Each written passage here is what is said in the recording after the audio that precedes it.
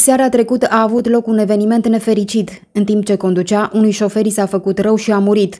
Incidentul s-a petrecut în localitatea Pribilești, fără a afecta siguranța celorlalți participanți la trafic.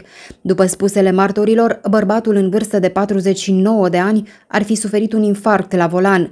Norocul celorlalți conducători auto care circulau la acea oră pe drumul județean 100E a fost că șoferul nu avea viteză, astfel că vehiculul s-a oprit în șanțul din stânga direcției lui de deplasare. Alți participanți la trafic au oprit imediat și au încercat să îl ajute aplicându-i manevre de resuscitare. Conform site-ului vasiledale.ro, un echipaj smurd, dar și echipajele poliției au sosit la fața locului. Paramedicii au scos șoferul din mașină și au continuat manevrele de resuscitare. Din păcate însă au fost nevoiți să declare decesul.